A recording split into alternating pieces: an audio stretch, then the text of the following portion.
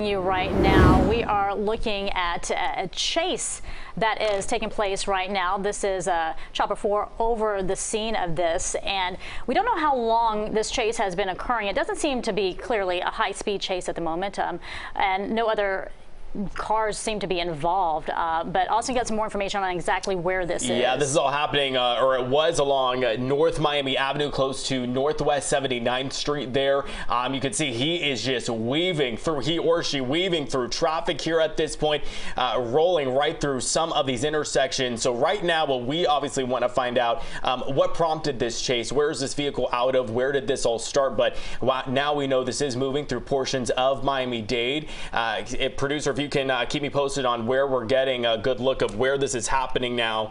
Still on North Miami Avenue, we are told. Uh, looks like they're approaching I-95 there. Okay, looks like he's turning onto one of those on-ramps. I'm actually going to pull up the flight radar as we speak to get a better look at where our chopper is uh, to give us some perspective there. But you can see police following very closely. Yeah. And stick with us as that uh, signal might cut out, cut in and out here just a little right bit. Right now, we're just looking at one uh, police officer uh, that is in this chase right now, and like you're saying, it's it's right on the side ramp. Uh, so we'll see if he does get on the freeway there. But yep. at portions, you saw how close he got to other vehicles there. So at this point, no other collisions involved in this, um, and it's you know going in different speeds. I'm, I'm, being told right now it's 62nd Street and I-95. Yeah, he just um, turned on to 62nd. He's now heading what he or she heading westbound, now looping back south, and this is part of the roads there that kind of just wrap around I-95. You've got a lot of on and off ramps. Okay, he's hopping on 95 now southbound. This is in the southbound direction here.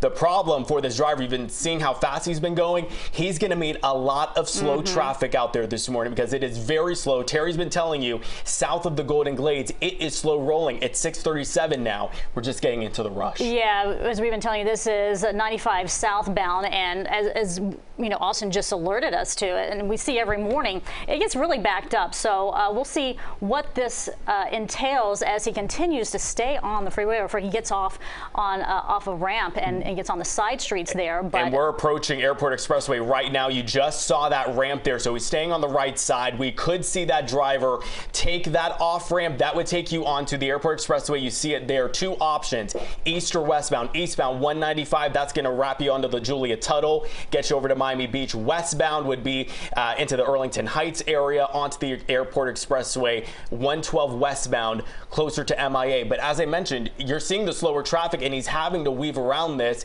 trying to clearly evade police. But it's going to be a tough time trying to do that because you've got a lot of slow traffic mm -hmm. rolling through this area. But still, we're seeing that one cop there. What's interesting, though, is it's still a single officer in this chase. Uh, it'll it'll be, you know, I guess a few moments, minutes, perhaps even longer than that before we see other officers involved. Clearly, Correct. they're headed to the scene, but it's one that continues to move as he's on I-95 South. And he's taking yeah, 112 now westbound, mm -hmm. so he's going to be heading west. I'm looking at the flight radar, Betty, just seeing our uh, chopper over the area, not seeing Miami-Dade police in this area just yet, but they are certainly going to be tracking this clearly from the ground. Now the driver is going to have a lot uh, kind of clear traffic Yeah, he's picking here. up speed here. Yeah, lighter traffic. We usually see that westbound 112, 836 gets busy at this time, but 112 usually stays open around this time. So he's kind of got all the road there to speed up and really not having to do too much weaving as he's this driver is trying to get away from that officer. Which in a way is a little bit of a good sign, right? Because you don't want any of the other vehicles on the roadways to um, be involved in some kind of crash associated with this. But hopefully other officers will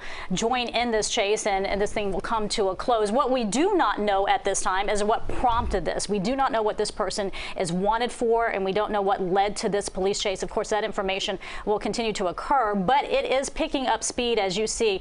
Uh, when and we it, first started, it was on the side streets, and now he's really got kind of an open road. And you're having a tough time seeing him right now. Those are those Metro Rail tracks. They're going to be approaching. There's the Earlington Heights station. There's uh, your transfer point between the orange and green line trains, and you can see we're closer to 112 now. You can see him there right just breezing through this area at this point and really climbing in speeds.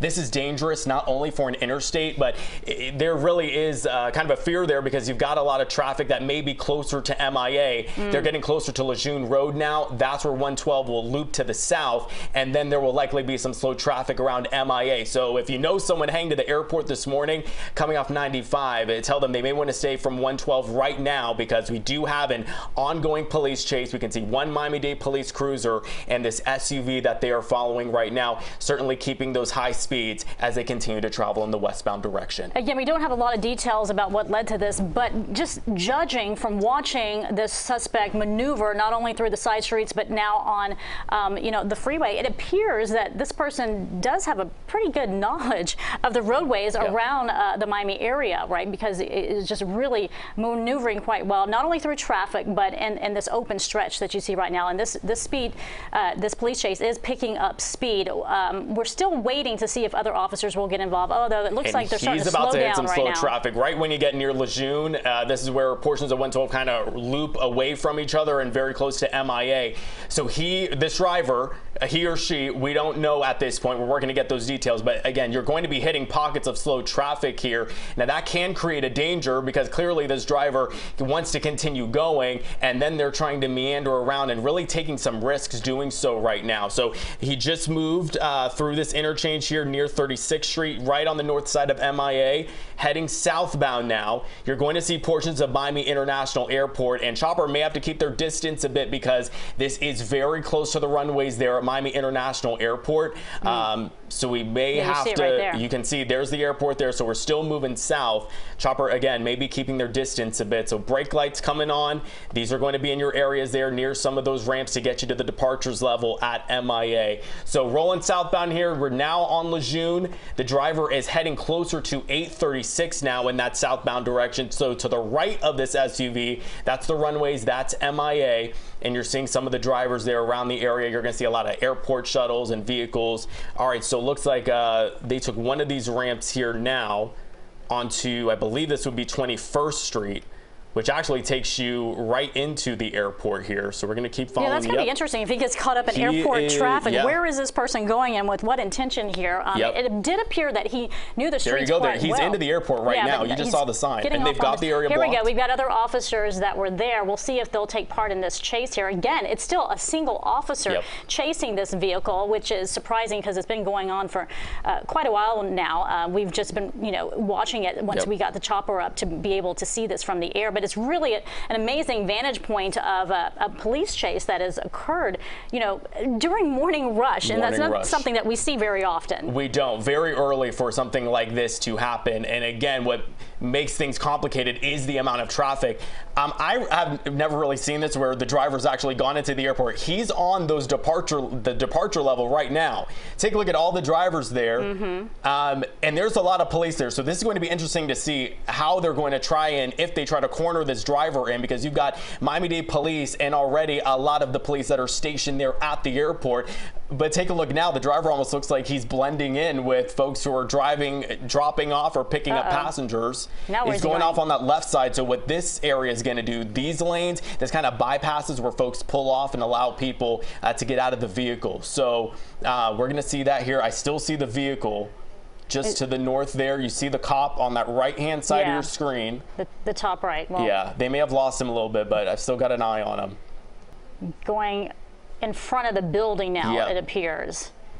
That's the thing about this area, though, he could get slowed down uh, tremendously yes. due to airport traffic and you know the people making departures um, and picking up for arrivals. But it's so interesting that he would go into this area. So at one point you think he knows where he's going, but then if you're looking at a plan, if you're trying to get away, this is not the place no, to no, go. No. And not to endorse this at all, but a bad move to drive right into an area there. Looks okay, like he stopped. Look, police, now you have an officer coming surrounded. up trying to approach. You can see the driver's hands are up. Yeah. Officers approaching. Now he's Doors about opening. to get out of the vehicle. Oh, it hasn't oh, stopped yep, just yet. Rolling. I want to put that in park. Now another officer has arrived there. Yep, okay. they got him. They're about to put him in handcuffs the on the ground. The question is, though, what led to this? Um, what is this suspect accused of doing? And, and then why would you go through a high speed chase through the streets of Miami during rush hour and then end up at the airport where you know there's going to be a lot of traffic? Um, clearly, not a lot of forethought, but then that happens often when folks are in, a police chase. Um, uh, but thankfully, this thing has come to a safe ending, and the suspect does appear to be in police custody. We're going to be learning a lot more um, details on what prompted this, but it doesn't look like there is a fight at all. Um, he is. He, looks is, like he cooperated, Yeah. and oftentimes with the police, you mentioned it looks like the driver knew where he was going. But oftentimes when we see these police chases, uh, they're just trying to get away. So they're taking any which way. They're trying to uh, sneak away from police or try to speed up, take a quick diversion. But in this case, you know, hopping on 112, you're basically heading to MIA, and a lot of the ramps then just kind of lead you onto Lejeune and into the airport. And that appears to be what happened here. But now we do have a man that is appears to be in custody after this police chase that went right from Northwest Miami-Dade down 95 onto the airport expressway and right to Miami and at times at high speed. So uh, very thankful that this didn't um, injure anyone else during the, the high speed chase at times, and then any other vehicles were damaged in this. It appears that he is being taken into custody, and uh, we'll get more information as to what prompted this. But um, there you go. It,